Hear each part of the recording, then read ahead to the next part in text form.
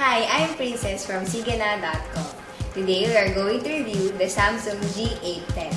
This received the European Photo Phone of 2008 awarded by DISA because of its superior image quality.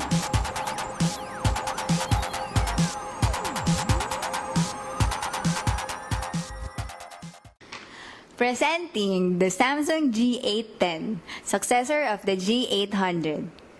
This big baby has a 5 megapixel camera with 3 times optical zoom and xenon flash.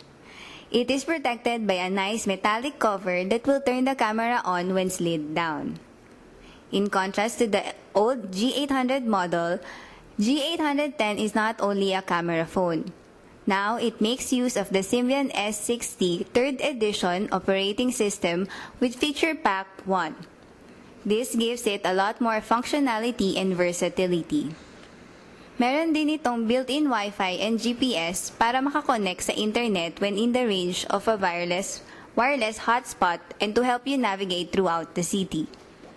Maganda naman siyang tignan at may full metal casing. Pero kung hindi ka fan ng movie na Transformers, baka hindi mo masyadong matripan ang design nito. Its dimension of 103 by 52.9 by 17.9 mm ay masyadong bulky at hindi ideal na size for an on-the-go phone.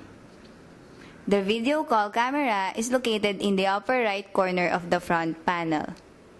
The earpiece or loudspeaker grill is placed dead center. At ang kanyang 2.6-inch LCD screen is next along with the D-pad. The left side of Samsung G810 ay medyo crowded.